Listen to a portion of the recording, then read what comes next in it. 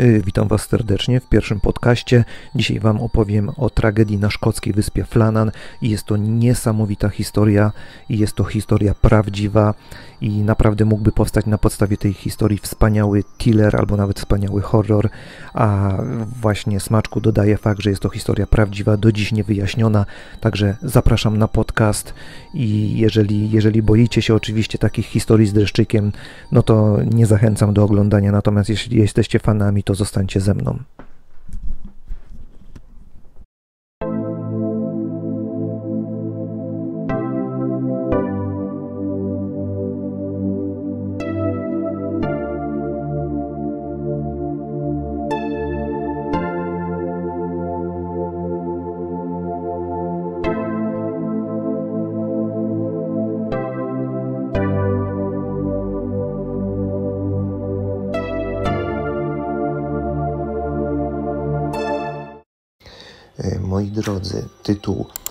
17 jest y, tragedia na wyspach Flanan, y, czyli to jest tajemni, tajemnicze okoliczności zaginięcia trzech latarników. Y, jest to historia dramatyczna o dosłownym rozpłynięciu się w powietrzu trzech latarników. Jest to historia Jamesa Ducata, Tomasa Marshalla i Williama MacArthur'a. Tak jak mówiłem, może nie znacie tej historii. No ona nie została jakoś bogato opisana w języku polskim, jak już wspomniałem. Natomiast jeśli znacie, mam nadzieję, tak jak wspomniałem, że trochę więcej światła na tą historię rzucę. Y, moi drodzy, latarnia Flannan Isles, bo o niej między innymi mowa, jest to latarnia morska w pobliżu najwyższego punktu na Eilean Mor, Elian Mor jest to jedna z wysp, grup, z wysp Flanan, należącej do grupy Flanan na Hebrytach zewnętrznych y, u zachodniego wybrzeża Szkocji kontynentalnej. Y, natomiast, moi drodzy, y, z kolei Hebrydy zewnętrzne y, to jest to archipelag około 200 wysp na północnym zachodzie Szkocji, i stanowi on jedną z 32 jednostek administracyjnych Szkocji. Tak na marginesie ten archipelag Hebrydy Zewnętrzne e, jest to jeden z najpiękniejszych archipelagów e, na świecie i to nie jest tylko moje zdanie. Bezsprzecznie możecie wygooglować sobie i zobaczyć zdjęcia z Hebrydów Zewnętrznych, a szczególnie z wysp Louis and Harris i zobaczycie, jak piękne tam są plaże, jak, jak krystalicznie czysta y, i, i bursztynowa jest tam, przepraszam, nie bursztynowa, tylko błękitna jest tam woda i jakie piękne są tam krajobrazy. To jest po prostu niesamowite, y, praktycznie niedotknięte ludzką y, ręką. Ludzka stopa tam prawie że nie stanęła. No, ze względu na, na dość ekstremalne warunki, które tam, tam panują. A więc moi drodzy, jeszcze raz, wyspa Flanan to y, wyspa, przepraszam, Eilan Mur, na której właśnie ta latarnia jest położona. Jest to jedna z wysp y, Flanan, grupa wysp Flanan ma jakby kilka wysp i jedną z tych wysp jest Eilan Mur, y, ale będziemy tutaj używać będziemy tutaj nazewnictwa wyspa Flanan, bo tak, tak się w tych faktach historycznych mówi o tragedii na wyspach Flanan. Natomiast wyspy Flanan, jak wspomniałem, są, yy, są położone na archipelagu Hebrydów zewnętrznych. Yy, moi drodzy, taka ciekawostka jeszcze, którą nie udało mi się znaleźć na stronach y, polskich, natomiast znalazłem to na stronach anglojęzycznych, że wyspy Flanan alternatywnie nazywane były wyspami siedmiu łowców y, i wyspy Flanan prawdopodobnie wzięły nazwę od świętego Flanana, E, irlandzkiego kaznodziei i opata, który żył w VII wieku. Moi drodzy, wyspy Flanan są niezamieszkane od czasu automatyzacji latarni morskiej, czyli od 1971 roku, a więc to już jest jakieś 50 lat. A więc przejdźmy teraz do tej niezwykle ciekawej i tajemniczej historii. 7 grudnia 1899 roku światło latarni zaświeciło po raz pierwszy. Czyli latarnia została zbudowana i 7 grudnia 1899 roku po raz pierwszy ta latarnia nadała sygnał świetlny. No niestety, ale już rok później, czyli 15 grudnia, to było dokładnie, załoga parowca Archer nie wiem, czy tutaj czytam dobrze, ponieważ nie jestem pewien, jak się wymaga. Nie udało mi się tego jakby znaleźć. W każdym razie prawdopodobnie ten parowiec nazywał się Archer. Załoga tego parowca, która przepływała nieopodal wysp Flanan, nie dostrzegła żadnych świateł i to już się załodze statku wydało niewątpliwie podejrzane, ponieważ ta latarnia powinna Y, nadawać sygnały świetlne. No niestety, niestety tak się nie stało, a więc z pokładu statku wystrzelono race, y, na widok których nikt nie odpowiedział. No i to właśnie był to szczególnie y, ten drugi fakt, szczególnie no, wzbudził jeszcze większe podejrzenia u załogi statku. Kiedy załoga statku parowca zacumowała w Liv, to już jest kontynentalna Szkocja, Y, trzy dni później zacumowali. Y, wiadomość została natychmiast przekazana y, zarządowi latarni północnej. To był zarząd, który się właśnie zajmował, no jak sama nazwa wskazuje, zarządzaniem latarniami położonych w północnej jakby części Szkocji. Przekazali oni informację, że coś jest nie tak z wyspą Flanan, ponieważ latarnia, która powinna świecić, no niestety niestety nie, nie zaświeciła tego dnia. Kapitan statku, właśnie tego parowca, zameldował o tym nad ranem już 16 grudnia po zawinięciu do portu. No, akcja, więc, a więc moi drodzy, jeszcze zanim, zanim zawinęli do portu. No ja tak przynajmniej wnioskuję, ponieważ oni oficjalnie, osobiście trzy dni później składali raport, y, natomiast 15 y, grudnia przepływali koło tych wysp Flanan, a 16 grudnia kapitan statku zameldował o tym fakcie y, poprzez pewnie radiostację. No nie udało mi się informacji na ten temat znaleźć, no ale, ale tak wnioskuję. Moi drodzy, już w tym momencie myślę, że możecie się domyślić, y, że wyspy te mają bardzo ciekawą, no niestety dramatyczną historię, która do dnia dzisiejszego nie została wyjaśniona, jak wspomniałem na początku. Y, tak, moi drodzy, y, no to przejdźmy dalej do, do, do tej historii. Po tym fakcie, jak zaraportowano brak światła na wyspie, to, to rząd szkocki e, wys, wysłał do zbadania sprawy statek przetargowy e, o nazwie Hesperus. E, moi drodzy, ja chciałbym wspomnieć, bo o tym, o tym nie powiedziałem, ale znaczy powiedziałem o tym, że jest to historia trzech latarników, którzy zniknęli bez śladu, dosłownie rozpłynęli się w powietrze. Więc no, no, ci mężczyźni tam pełnili służbę, no bo w tych czasach nie było jeszcze automatyzacji latarni morskiej, więc ci mężczyźni tam musieli być i musieli, musieli dbać o to, żeby ta latarnia wysyłała sygnały świetlne. No sami rozumiecie, to było ponad 100 lat temu, więc, e, więc inne, innej metody nie było, a to, że wysyłano tam więcej niż jedną osobę, no to było jakby jak najbardziej racjonalne posunięcie, e, ponieważ no pracy tam było sporo, a poza tym no, ze względów bezpieczeństwa. Y, no moi drodzy, y, wróćmy do, do tej historii.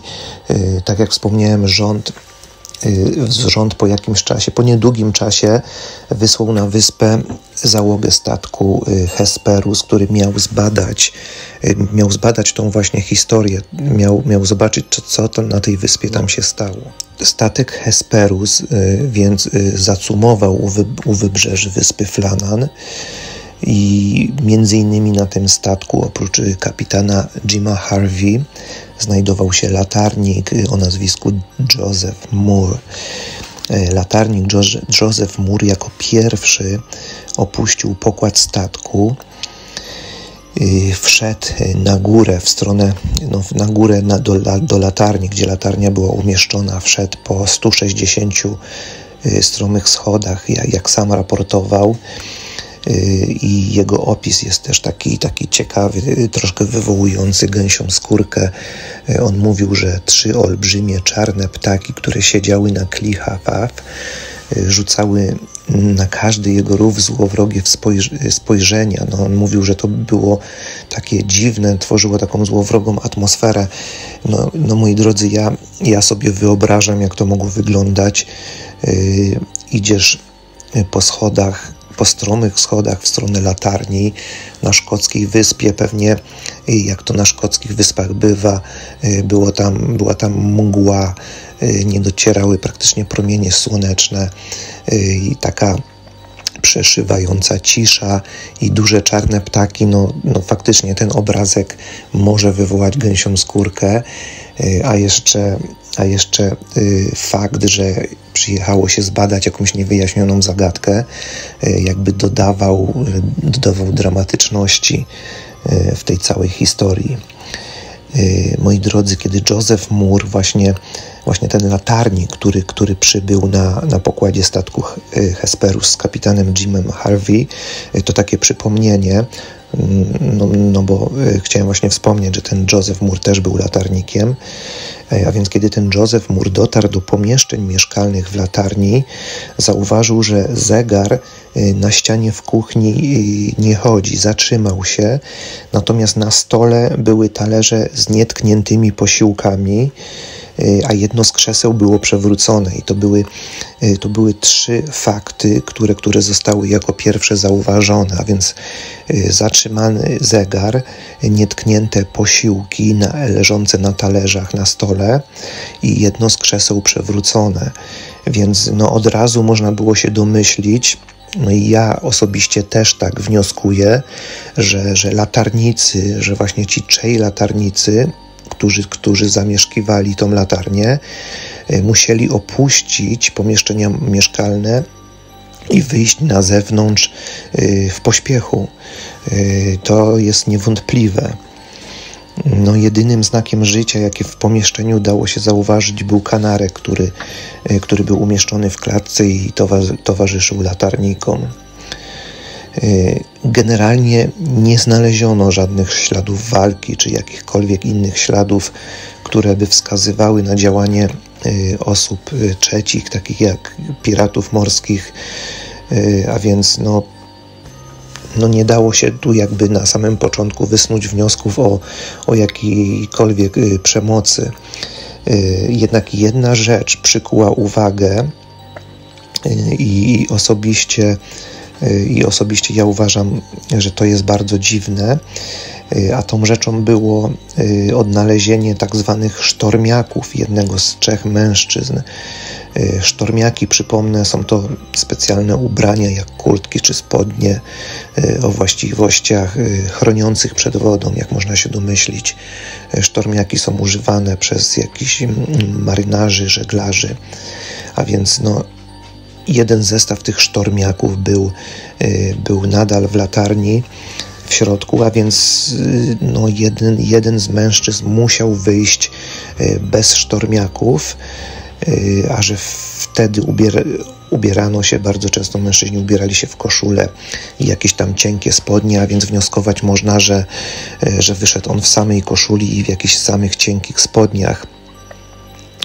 Y, no więc no to jest bardzo, ale to bardzo dziwne. Y, no, no bo jaki doświadczony latarnik, czy, czy jakakolwiek osoba y, jakoś powiązana z morzem, mm, no wychodziłaby na zewnątrz, jeszcze jak się później okaże, w brzydką pogodę w samej koszuli. No, także te, te fakty znalezione, czyli te nietknięte jedzenie na stole, przewrócone krzesło i pozostawione sztormiaki, no to już niewątpliwie potwierdziły, że przynajmniej jeden z mężczyzn opuścił y, pomieszczenie latarni w pośpiechu. Ale przejdźmy dalej. E, mężczyźni, którzy przeszukiwali wyspę, czyli właśnie ci mężczyźni, którzy przypłynęli na tym statku Hesperus, przypominam, że to był innymi kapitan statku Jim Hervey i, i to był latarnik Joseph Moore. E, oni zwrócili uwagę na, na, na platformę, no, tak zwaną do lądowania, oni tak to po angielsku nazywają. To chodziło o platformę umieszczona była ta platforma na zachodniej stronie wyspy. To była platforma, do której właśnie cumowały łodzie. No tutaj było mnóstwo dowodów na to, że na wyspę, że w wyspę uderzył potężny sztorm. No zresztą, zresztą to później się potwierdziło w zapiskach e, meteorologicznych, historycznych, że, że w tym czasie był ogromny sztorco, sztorm, e, co jest w ogóle, mm, no, co jest w ogóle nie dziwnym zjawiskiem w tej części świata, w tej części Szkocji. Tam sztormy są, e, są częste, więc, więc nie było to dziwne, ale, ale ślady pozostawione na tej platformie wskazywały, że ten sztorm był naprawdę potężny. No było tam skrzynie z zapasami, które były rozbite na strzępy, porozrzucane wszystko na dużej odległości, e, połamane jakieś e, balustrady. E, moi drodzy, mimo wszystko, że mm, mimo wszystko, że ta platforma znajdowała się ponad 100 stóp nad poziomem morza, przypomnę, że 100 stóp to jest jakieś 30 metrów, to i tak to wszystko było poroz, porozrywane, porozczaskiwane. No, a więc no, można sobie wyobrazić, jak, jak wysoka ta fala sztormowa tam, tam przeszła. 30 y, metrów nad poziomem morza i fala zdołała wy, wyrządzić takie szkody, więc no, no ogromna, ogromna fala sztormowa tam była. Y, pozwólcie, że zacytuję teraz raport pozostawiany przez, przez te osoby, y, przez Josefa Mura bodajże. Y, tutaj też nie udało mi się znaleźć do końca informacji, kto, kto ten krótki raport zostawił, pierwszy raport, ale prawdopodobnie Joseph Moore, a więc cytuję jego raport. Y, żelazne balustrady na poboczu ścieżki zostały wygięte i wykrzywione. Część torów kolejowych została wyrwana z betonowych cum. Z kolei ogromna skała, e, która ważyła ponad tonę, została przemieszczona e, kilkanaście metrów w inne miejsce. No, więc takie szkody mogła zrobić tylko i wyłącznie woda, a konkretnie wielka fala. E, wiatr, nawet bardzo silny, nie byłby w stanie dokonać takich szkód. Y, należy jeszcze dodać, że darń również została wyrwana ze szczytów klifów. Y, darń, tutaj moje przypomnienie, to taka jakby warstwa z ziemi, z ziemi z, z trawą na przykład. A więc ta darń została jakby zerwana ze szczytów klifów Y, a ta darń była 200 y, metrów, 200 stóp, y, przepraszam, nad poziomem morza, a te szczyty klif 200 stóp nad poziomem morza. 200 stóp to jakieś 60 metrów. No, więc mamy tutaj jakby niezaprzeczalny dowód na to, że fala mogła osiągnąć takie rozmiary, dla lepszego obrazu powiem, że 60 metrów odpowiada mniej więcej 20-piętrowemu budynkowi.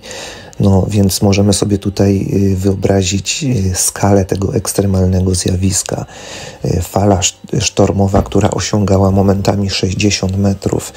No jest to coś po prostu, coś, coś no naprawdę ekstremalnie ogromnego. Moi drodzy, w tym momencie mm, można było już wnioskować, no ja też osobiście wnioskuję, że mężczyźni no, gdybym to zobaczył właśnie, to bym wnioskował, że mężczyźni utonęli, y, próbując ratować y, zapasy, maszyny, które tam byli, y, które tam były. No ale, ale od razu nasuwa się pod uwagę fakt, że byli to doświadczeni latarnicy, mężczyźni, którzy znali morze jak własną kieszeń, więc no jest to ekstremalnie mało prawdopodobne, aby, aby popełnili taki błąd i wyszli w sztormową pogodę e, na zewnątrz. No wyobraźcie sobie ludzi, którzy mają do czynienia z morzem e, całe życie, którzy mają ogromne doświadczenie. No tacy ludzie dobrze wiedzą, jak niebezpieczna jest sztormowa pogoda, e, szczególnie na takich właśnie małych wyspach gdzie, gdzie właśnie dookoła, dookoła wyspy są silne wiatry i uderzają potężne fale no mało prawdopodobne jest, a wręcz nieprawdopodobne, żeby żeby ci mężczyźni opuścili wnętrze latarni morskiej i wyszli, i wyszli e, e, ratować te zapasy. No co się stało? No co się stało? Takie pytanie właśnie nada zadawali sobie wszyscy, ponieważ no wszyscy chcieli, yy, wszyscy szybko to dotarło do opinii publicznej i wszyscy naprawdę, tak naprawdę chcieli, chcieli poznać, yy, co się wydarzyło. Yy, no ludzie, ludzie mówili tutaj też, cytuję, Y, cytuję słowa ludzi, no, które zostały zapisane gdzieś tam w raportach. Ludzie często mówili, czy ci biedni ludzie spadli z klifów i utonęli, próbując zabezpieczyć zapasy czy jakieś urządzenia. No takie, takie właśnie takie pytania sobie zadawali i w sumie to pytanie jako, jako pewnik wpisał w raporcie kapitan Harvey. E, przypominam, że to, e, że to kapitan statku e, Hesperus, który jako pierwszy przypłynął zbadać, zbadać historię wyspy Flanan. I, i, I, taki tak naprawdę telegram do zarządu latarni północnej kapitan Harvey wysłał właśnie o treści, że uważam, że ci biedni ludzie spadli z klifów i utonęli. I, i, on, I on w sumie w sumie przyjął to za pewnik. Y, no, no mimo wszystko, że, że, że miał świadomość, że pogoda była ekstremalnie niebezpieczna, a, a w latarni morskiej y, czuwali, czuwało trzech doświadczonych y, latarników. No powróćmy jednak do tajemniczej wyspy Flanan, y, ponieważ y, kapitan Harvey zostawił tam y, na jakiś czas latarnika Mura i trzech marynarzy, aby oni kontynuowali poszukiwania zaginionych latarników lub po prostu jakichkolwiek śladów, które mogłyby być pomocne w ustaleniu faktów. No niestety mm, oni nie znaleźli nic więcej, poza wspomnianymi śladami, o których wspominałem, e, czyli te niezjedzone posiłki czy e, przewrócone e, krzesło. No, historia, historia, historia dalej toczy się w następujący sposób. 29 grudnia y, nadzorca zarządu, y, zarządu mam na myśli y, latarni morskich, Robert Moorhead, przybył na wyspę i, i samodzielnie rozpoczął śledztwo w sprawie zniknięcia latarników. Przypominam, to było 29 grudnia. Robert Moorhead, ten zarządca latarni morskich, bardzo dobrze znał trzech zaginionych mężczyzn, no a więc poszedł podszedł do sprawy nie tylko bardzo profesjonalnie, ale e, kierował się też tak jakby osobi, osobistymi pobudkami, e, ponieważ ta historia, ta niewyjaśniona historia, no nie mogła mu dać spokoju. Tak jak wspomniałem, znał, znał on tych mężczyzn i tym bardziej zależało mu na wyjaśnieniu sprawy e, to, co on znalazł, to, to ślady skóry E, ślady skóry, ślady na skórka. Podejrzewam, tu też nie udało mi się dokładnie, dokładnie dotrzeć do informacji, co, co miał na myśli, mówiąc, że znalazł ślady skóry. No ale w każdym razie jest to, jest to w raporcie. Doszedł on do wniosku, że te ślady skóry należą do Williama MacArthura, jednego z latarników. I tutaj, moi drodzy, szczerze mówiąc, nie udało mi się znaleźć informacji, na jakiej podstawie on stwierdził, że te ślady skóry należały akurat konkretnie do Williama MacArthura. E, przypominam, że był to początek XX wieku, e, gdzie jeszcze ludzie nie znali metod e, badań genetycznych czy tam badań DNA, a więc no nie wiem na jakiej podstawie on to stwierdził, nie napisał tego, przynajmniej mi nie udało się znaleźć informacji na ten temat. No to taka ciekawostka. Y, y, Mulhead, Robert Mulhead dalej y, poszedł na ten zniszczony podest, tą platformę, o której wcześniej wspominałem, tam gdzie były te porozrzucane szczątki rozerwanych skrzyń z zapasami między innymi. I, i kiedy Murhead obejrzał dokładnie to, co tam się wydarzyło, to zaczął spekulować, że y, dwóch spośród trzech latarników, a konkretnie Marsza i Dukat, y, wyszli na zewnątrz w czasie burzy, aby spróbować zabezpieczyć przechowywany tam sprzęt. Y, kiedy długo nie wracali, Mulhead domyślił się, że MacArthur, czyli trzeci z latarników, w takim razie musiał wyruszyć, aby próbować ich znaleźć. No, moi drodzy, dla mnie osobiście nadal nie wyjaśnia to faktu pozostawienia talerzy z nietkniętym posiłkiem, a szczególnie y, pozostawienia sztormiaków, czyli, y, czyli wyjściu jednego z mężczyzn bez ubrania w samej koszuli. No, y, weźmy pod uwagę, że to MacArthur zostawił te sztormiaki, wyruszając szukać towarzyszy, ale no nie wierzę, że nie wierzę, że nie zdążyłby ubrać tych sztormiaków, bo no skoro i tak już kilka godzin na nich czekał, to te 5 czy 10 minut później y, na pewno by poświęcił na, na, na odpowiednie ubranie się. Y, teraz y, chciałem zacytować słowa, słowa Roberta Murheada, czyli tego zarządcy latarni morskiej. Cytuję więc: z dowodów, które udało mi się uzyskać, byłem przekonany, że mężczyźni pełni, pełnili służbę aż do obiadu w sobotę 15 grudnia. Potem poszli na dół, aby zabezpieczyć skrzynię, yy, aby zabezpieczyć skrzynię. Yy, w tych skrzyniach trzymano cumy, liny do lądowania, yy, zapasy yy, i tym podobnie. To wszystko było umocowane w, w skalnej szczelinie około 34 metrów nad poziomem morza, czyli 100 stóp, jak ktoś woli. Bardzo duże fale wdarły się tam, gdzie oni przebywali, i fala opadająca zabrała ich ze sobą do morza. To był oficjalny raport Murheada. I on, i Murhead prawdopodobnie wierzył w to wyjaśnienie aż do swojej śmierci. No jednak jeśli chodzi o opinię publiczną, no nie był to koniec tej historii, ponieważ e, no, ludzie nie chcieli w to uwierzyć, że czej latarnicy, będąc świadomi swojego ogromnego zagrożenia, e, zaryzykowali życie, aby ratować sprzęt i zapasy. No ja osobiście, no mi osobiście też jest ciężko w to uwierzyć. E, no, tym bardziej, że, że no, mieli wystarczającą ilość zapasów w środku latarni, e, nie zmarliby z głodu, natomiast po ukończeniu, po zakończeniu burzy mogli bardzo łatwo nadać jakiś sygnał SOS jakiemuś przepływającemu statkowi.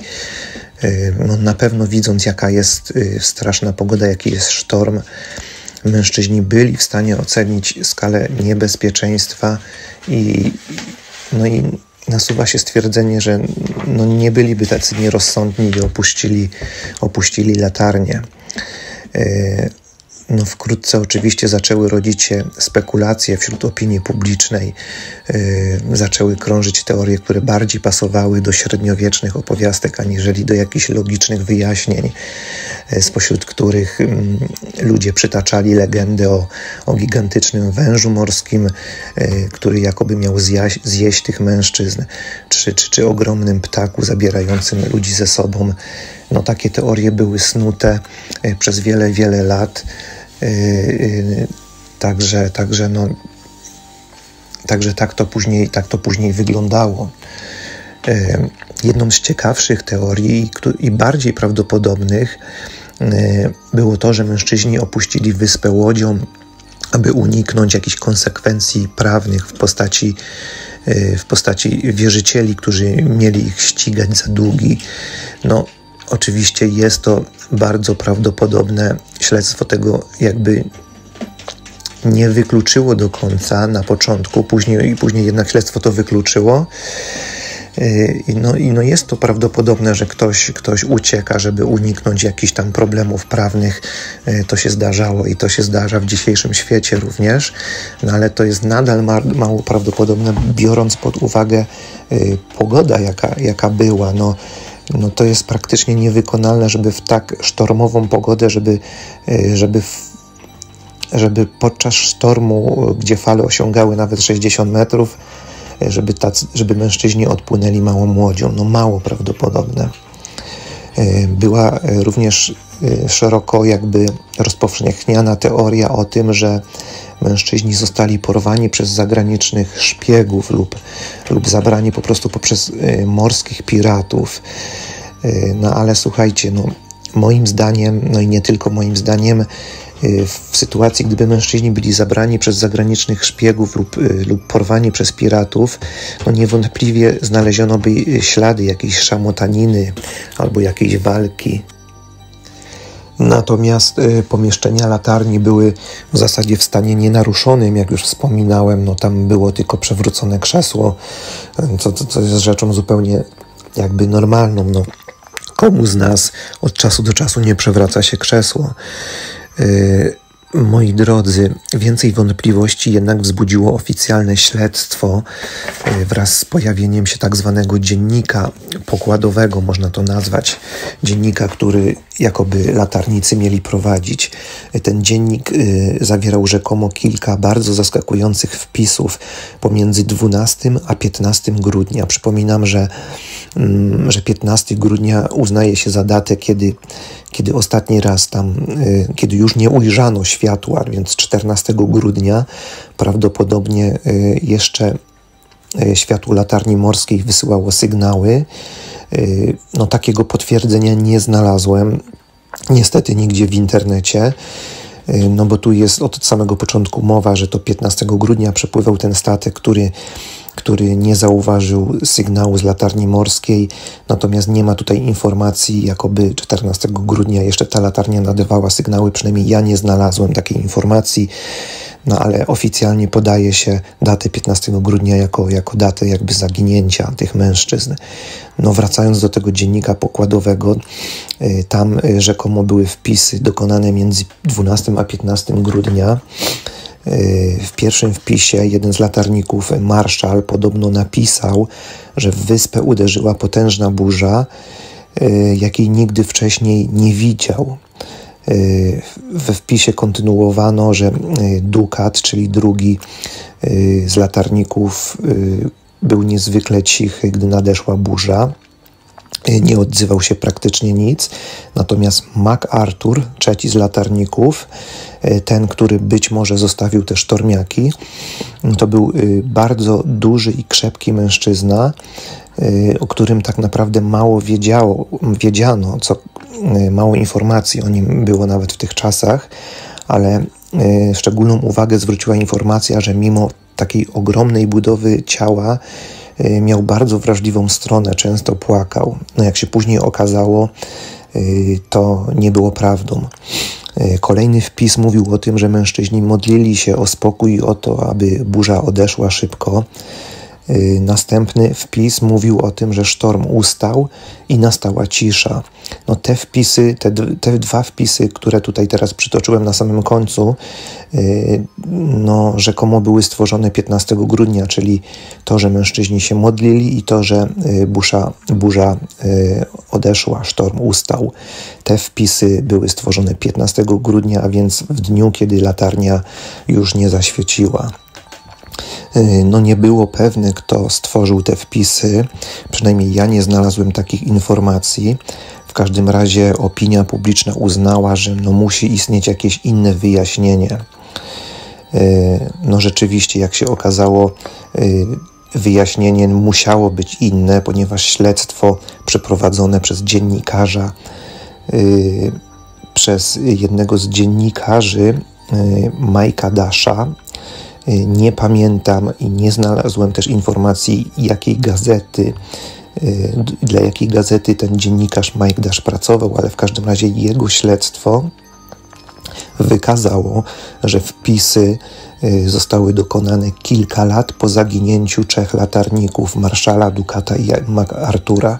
No skoro ktoś dokonał kilka lat wpisów po zaginięciu tych mężczyzn, podając się za nich, tak jakby, podrabiając jakby ich, ich, ich, ich pismo, no to ja wnioskuję, że, e, że ktoś po prostu próbował jakby zamieść sprawę pod dywan. E, no niekoniecznie dlatego, że, mm, że, że na przykład dokonał morderstwa i chciał ukryć ślady, tylko być może chciał po prostu zamknąć, e, zamknąć sprawę, żeby opinia publiczna nie naciskała na, na wyjaśnienie tejże, tejże niewyjaśnionej historii.